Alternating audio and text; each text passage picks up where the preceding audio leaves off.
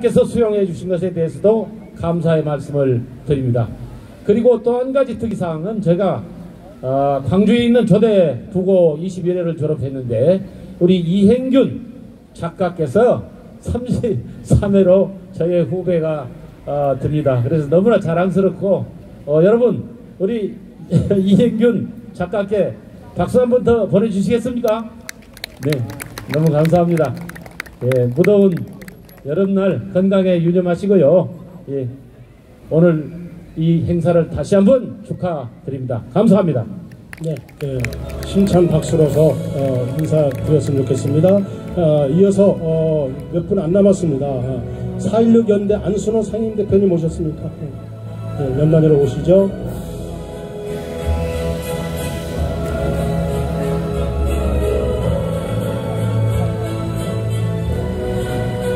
예, 4.16년대 상임대표 안순호 이기